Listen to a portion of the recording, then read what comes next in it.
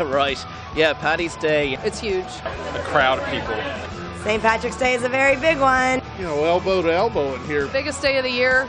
It's a lot of fun. People are just crammed in here because it, it is the Irish pub, in my opinion. 10 years doing uh, the St. Patty's Day uh, block party and parade.